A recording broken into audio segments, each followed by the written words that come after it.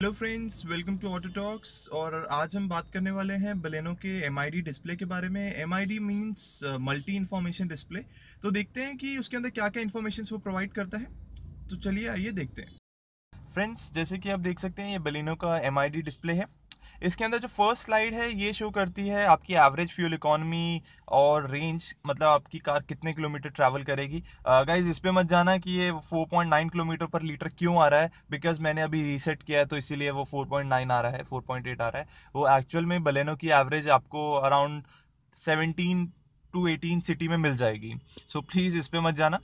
जो second slide है वो है आपका ये भी एवरेज फ्यूल इकोनॉमी की है जैसे ड्राइविंग के अकॉर्डिंगली बताती है कि आप कितना आ, कैसे ड्राइव करते हैं आपके पैटर्न और नेक्स्ट स्लाइड जो है ये आपका ड्राइविंग टाइम बताती है। टोटल आपने कितना ड्राइव किया? जैसे मैंने कर रखा है for example 99 hours 59 minutes and 59 seconds ये फोर्थ स्लाइड है ये आपको क्लॉक है। ये क्लॉक टाइम बताएगी आपको। फिर ये इस स्लाइड में आपको टॉर्क एंड पावर मीटर दे रखा है। जितना आप कार को रेव करेंगे और देखिए जैसे ये बढ़ रहा है और कम हो रहा है। अब बात करते हैं हम एम आई डिस्प्ले की सेटिंग्स के बारे में।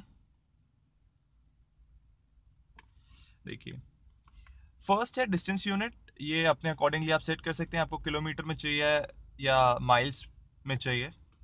फिर आता है फ्यूल इकोनॉमी फ्यूल इकोनॉमी भी आप अपने accordingly kilometre per litre litre per hundred kilometre MPG ये तो इंडिया में इतना नहीं है। इंडिया में नहीं चलता, बाहर के फॉर्मेट है। लैंग्वेज uh, आप सेट कर सकते हैं। English French Spanish German Italian Russian Turkish fuel reset guys ये uh, इसमें आप सेट कर सकते हैं कि आफ्टर फ्यूल आपको रीसेट चाहिए ऑटोमेटिकली uh, या जैसी ट्रिप मीटर ट्रिप ए के साथ चाहिए या मैनुअल करना है या आपके अपने हिसाब से कर। बाकी आता है टेम्परेचर टेम्परेचर सेटिंग्स में आता है आपको सेल्सियस में चाहिए या फ़ारेनहाइट में चाहिए टेम्परेचर सेट सेंसर्स के अंदर है कि आप नॉर्मल मोड चाहते हैं trailer mode trailer mode basically होता है कि आप एक छोटा सा ट्रेलर देखने के लिए सेंसर्स का। और क्लॉक सेटिंग्स क्लॉक सेटिंग्स में आप डेट और क्लॉक एडजस्ट कर सकते हैं। फिर आता है डोर लॉक डोर लॉक इसके अंदर आ, जैसे फ़र्स्ट मोड था डोर लॉक डोर लॉक के अंदर आप आ, सारे डोर्स एक साथ लॉक कर सकते हैं।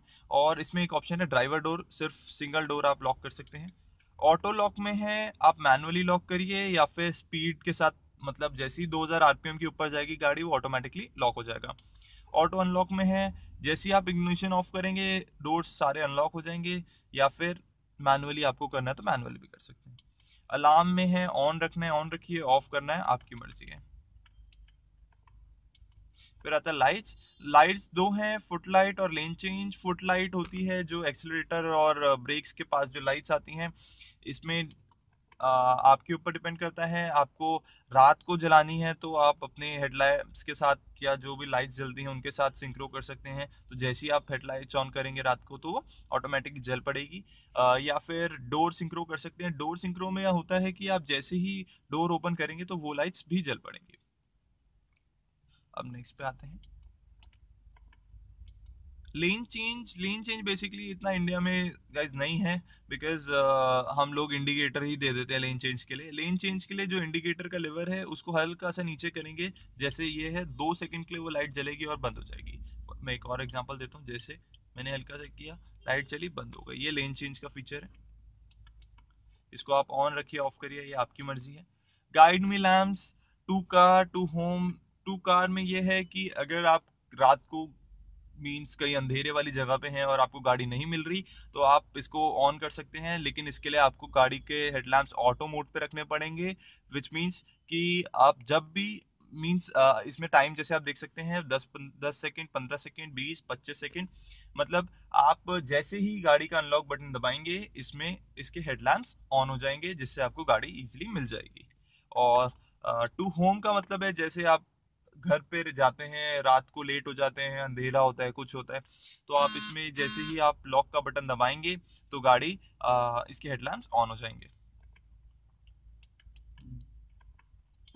एंटी थेफ्ट एंटी थेफ्ट आप गाइज़ हमेशा ऑन रखिए और मैं तो यही कहता हूँ कि ये हमेशा हाईएस्ट सेंसिटिविटी लेवल पे होने चाहिए। ये देखिए मैंने भी इसको हाई देखिए इसका सेंसिटिविटी लेवल इसको 15 का रखा है सबसे हाईएस्ट पे। बिकॉज़ गाइज़ आजकल किसी का कुछ पता नहीं, चोरियाँ बहुत हो रही हैं इंडिया में एंड देखिए, ये भी मैंने 15 पे ही कर रखा है।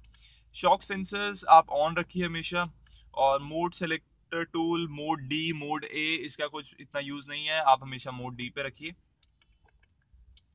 डिस्प्ले आइटम्स डिस्प्ले आइटम्स में आपको कार का कलर जो डिस्प्ले में कार आती है, उसका कलर कैसा चाहिए, ये आप पे है। ये फॉर एग्जांपल मैंने रेड पे रखा है, अभी मैं चेंज करके इसको ऑरेंज कर देता हूँ। ऑरेंज हो गया। कैलेंडर डिस्प्ले चाहिए कि नहीं चाहिए? कैलेंडर फॉर्म कैसा होना चाहिए, वो आप पे डिपेंड करता है। फ्यूल इकोनॉमी हिस्ट्री ये सब छोड़िए। और ये आता है डिफ़ॉल्ट सेटिंग में। अब जैसे इस पर क्लिक करेंगे, वो जितना भी आपने चेंजेस करें वो डिफ़ॉल्ट में चला जाएगा और मतलब डिफ़ॉल्ट सेटिंग में कन्वर्ट हो जाएगा। जो पहले था, वो एज इट इज़ कन्वर्ट हो जाएगा। सो so गाइज़ आज के लिए बस इतना ही। ये था बलेनो का एमआईडी डिस्प्ले